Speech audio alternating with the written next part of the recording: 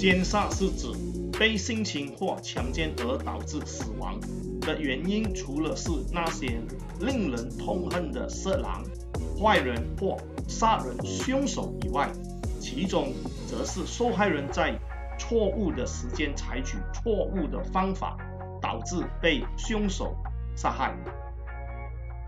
现时代的进步和快速的发展，导致犯罪的方式或手段跟以往有很大的分别。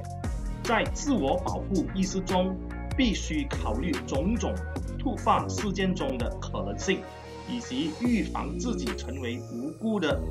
因此，女性除了必须拥有预防能力以外，也必须懂得一些科学合理的实战防身技能。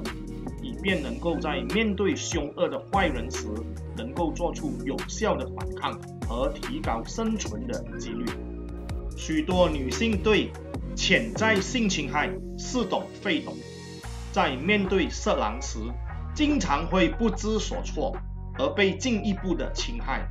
这显然是安全防范和自我保护意识不到位。许多防不胜防的情况，都是因为个人的安全意识不到位所造成的。随着时代的发展，从安全意识到安全知识都需要改变。再也不能让陈旧的学习方法学会保护自己的人身安全，例如经一事长一智，因为这种方法。对许多人来说是一种非常沉重的代价，毕竟我们只有一次的生命。